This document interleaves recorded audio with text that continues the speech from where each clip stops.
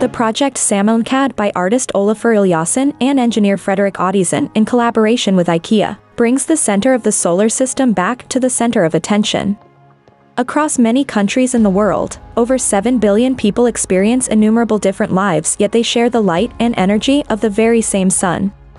Sammanlänkad is a conceptual solar accessory collection for everyday life, which brings awareness on responsible use of energy. Due to lack of availability of electricity, a lot of problems exists after sunset such as a drop in access to education and shorter working hours. The project also aims to bring attention to issues faced by the people deprived of an accessible electric grid. The circular solar power unit can be recharged by attaching it to a window during the daylight to capture the energy. Once the energy is restored, it helps to charge devices and also provide power solutions for both indoor and outdoor activities.